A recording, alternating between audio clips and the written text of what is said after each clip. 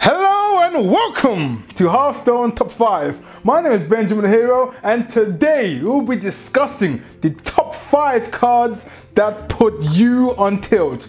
Being on tilt means entering an angry or frustrated state of mind because of a big unlucky event happening to you. For example, Tuskarr Totemic always seeming to get the right totem to screw you over. Needless to say, this list might trigger some fun memories. At number five, we have Reno Jackson. Reno Jackson has the ability to heal you up to full, and you just know that any card with a text like that is bound to leave some players bitter and tilted.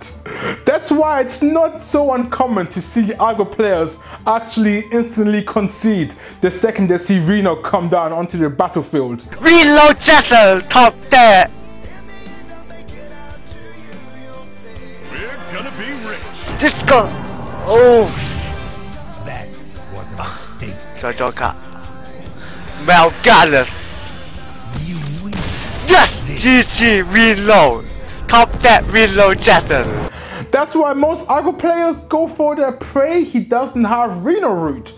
But of course, ladies and gentlemen, they always have Reno. He's got Reno, Jackson. No way. Oh! From 1 to 30. Oh my god, did it actually happened! Unbelievable. We're lucky! At number four, we have Divine Favor, or as more commonly known as Divine Funnel cakes. Favor. I mean, seriously, look at the amount of hate this card gets on Reddit. Divine Favor is the closest you can get to being on benefits in Hearthstone. You can squander all your cards only to have your deck put you on the same level of cards as your opponent who had to wait patiently to get each of their cards. This freeloading effect is what makes Divine Favor such a wonderfully tilting card. I mean, seeing your opponent go from almost basically no hand to, to a full hand is just a bit tilting. just a tiny bit. But yeah, maybe next turn I want to. Okay. My favor. Oh my god, it actually happened! Unbelievable. We're lucky! At number three, we have Flame Striker. Flame Strike has been tilting players since 2014 and it's the original Hearthstone card to really put players on tilt. When I first started playing Hearthstone and I witnessed one card wiping out my whole board, it was like losing my tilting virginity. and in Arena, in Arena, Flame Strike can be crazy. Why? Because you can have more than two. One time Kripp managed to draft seven Flame Strikes. Seven frigging Flame Strikes. Oh man! Although Flame Strike is nowhere near as tilting as it used to be, because players have started to play around it more and more, it will still always be remembered as the original Hearthstone card to put players on tilt. At number two, we have Knife Juggler and Flamewaker and Flame Juggler and Ragnaros and pretty much any other cards that deals random damage. Because the feeling of tilt when RNG does not go your way is immeasurable.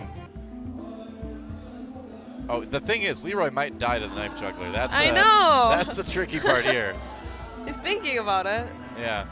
He Inner would, Rage from Battle Rage represents lethal. he would have to attack first before he. Oh man, this is so Oh man. Oh boy. I'm scared. Oh, no, it's no. still green. Wait, it's not. It's not. Oh my Oh, god. If both hit, he's done. It actually Oh, happened. Oh my god, it actually Wait, happened!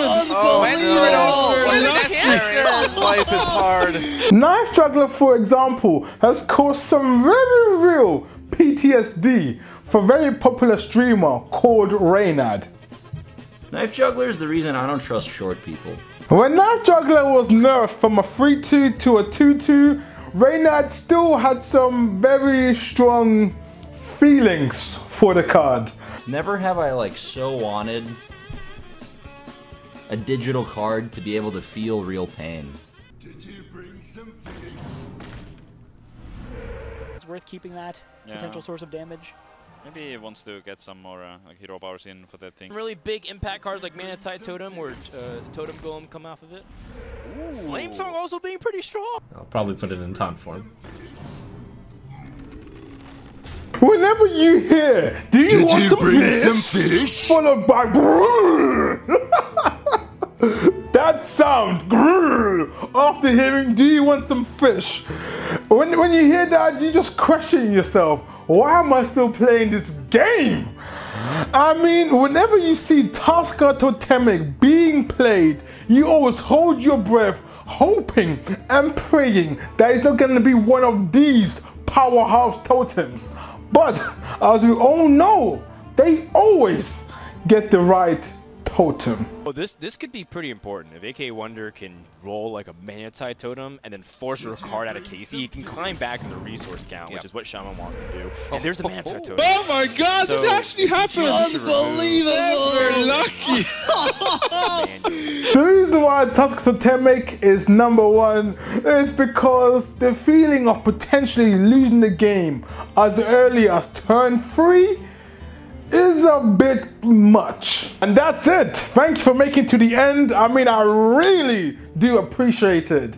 If you like what you saw and you want to see more content, please think about subscribing. It will do a whole bunch for the channel. And of course, as usual, you can check out last week's episode where I talk about the top five failed tech cards in Hearthstone. Also, I would like to thank a user called Daniel Yo who gave me this idea for the top five tilting videos in the comments from last week. So, you so again, guys, if you have any comment in terms of what videos I should do, leave below in the comments. Also, there's still some time for you to submit your questions for the 5K special Q&A that's coming up, I believe, next week. That's coming, it's coming out next week.